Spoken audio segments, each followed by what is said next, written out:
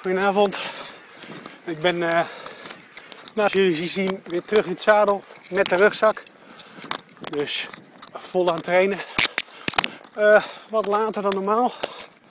Sociale verplichtingen. Uh, drie weken ziek geweest, drie weken niet bij mensen langs geweest. Dus vandaag moest dat gebeuren. En dat geeft niet, maar dat betekent dat de training wat uitgesteld is. Morgenochtend probeer ik nog even langs de sportschool te gaan. Om daar ook nog even goed, uh, goed in het zweet en de krachten weer te testen. Uh, het is de tweede echt serieuze training aan mijn ziekte. Uh, de eerste training ging wel goed. 5 kilometer in nou, een tempo van 6,2, 6,3. Maar ik zal de link, link bijvoegen, ook de link van deze training. zal boven het artikel, boven de video staan. Nou, weer in mijn mooie Schellinghout lekker aan het uh, trainen op de buitendijk.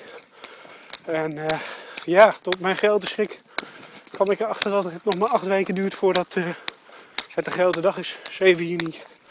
Dan ga ik twee keer Alpe beklimmen. Met 15 kilo op mijn rug.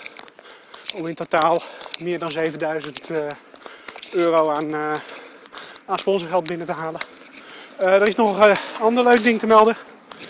Uh, tijdens mijn uh, afwezigheid heeft, uh, is de teller voor het team waar ik bij hoor, het Schubach Villers 100% op de 6 team, door de 300.000 heen gegaan.